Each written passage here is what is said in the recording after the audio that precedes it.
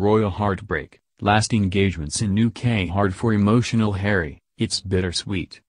The final days of Prince Harry's life as a member of the senior royal family are finally taking their toll on the emotional Duke, who is spending his last moments in the UK before he ditches his titles to become financially independent.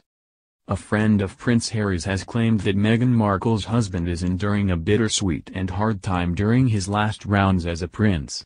He and Meghan are set to stand down from royal duties next month and the followings are acting as his farewell before embarking on his new life with the Duchess of Sussex and their child Archie. This year has seen Meghan and Harry opt to move away from the UK to spend time in North America. Their decision has not been without controversy, as critics have attacked the couple from all angles for the move. And speaking to Vanity Fair, a friend has spoken about the toll his last engagements have taken on him. They said, it's an emotional time for him in many ways. I think in many ways it's bittersweet. He's always wanted to have a regular life and to get away from the spotlight, and that's what he's doing, but it basically means walking away from his family. Harry's a loving loyal guy so that will be very hard for him. Reports say that Prince Harry has told his friends that no longer using the royal titles he has been given was a small price to pay for him moving on.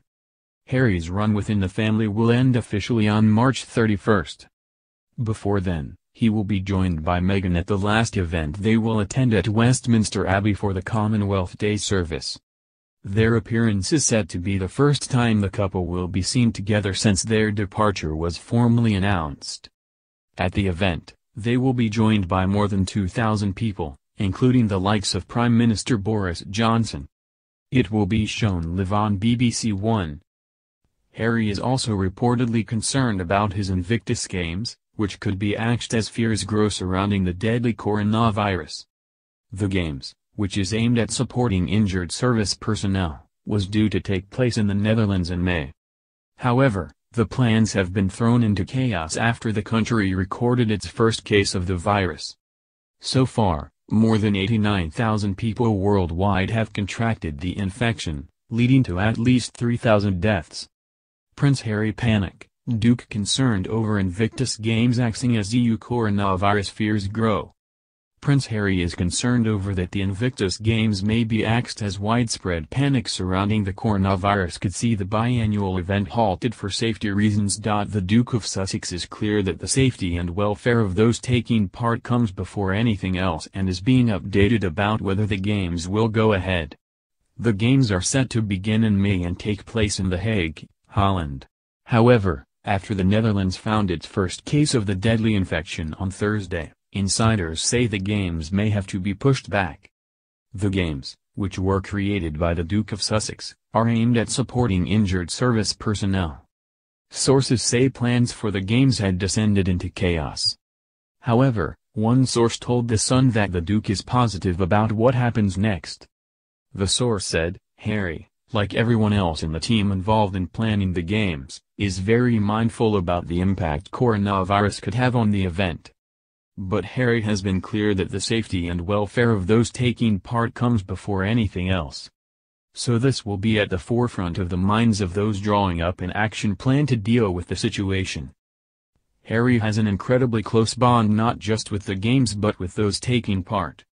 The source added, his team are updating him on a daily basis as to what the state of play is. It's been suggested that with Harry stepping away from public life he will be less hands-on with Invictus. This simply isn't true and Harry is angry at the idea he isn't as involved. Yesterday, organizers said that thousands of people, including competitors and viewers, were set to visit The Hague to watch the event. These people will come from around 20 different countries, leading to fears the infection could continue to spread. Globally, the coronavirus has been contracted by around 89,000, with more than 3,000 dying as a result. In the UK there are no recorded deaths, but the number of cases reported has steadily risen in recent days to around 40. Harry's wife Meghan Markle is expected to attend the event in May if it gets the green light to go ahead. They are currently in the UK carrying out their final duties as senior royal family figures ahead of their controversial resignation last month.